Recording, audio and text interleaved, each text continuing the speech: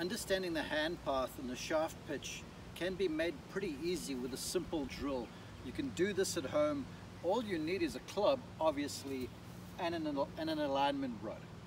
If you don't have an alignment rod, you can use a broomstick or another golf club. Assume your grip, set the club head down behind the alignment rod as if you intend to hit it. Assume your grip and then just move the club head up so that the handle is stuck right around your belly button. This is your first reference because from here to start back, you want to keep that club head belly button relationship. You see how my right hip, my trail hip is moving, my hands and my arms and the club move the first few feet away from the golf, the golf ball, in this case the alignment rod together. From there, a little bit of wrist hinge and a slight amount of arm swing should have this club grip looking down to that alignment rod.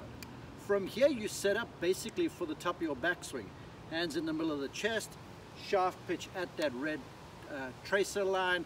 You just rotate up, then you rotate back down, and from here you're in the go zone. Now just some body rotation. You'll feel how the grip handle disappears. Look how the club head is aligning that stick. And from there, you move on through. Practice that a little bit.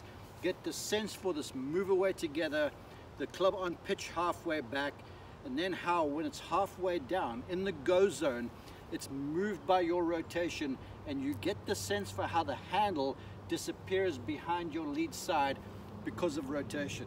That club will come in straight, you'll hit the ball more flush and you'll certainly hit the ball more accurately.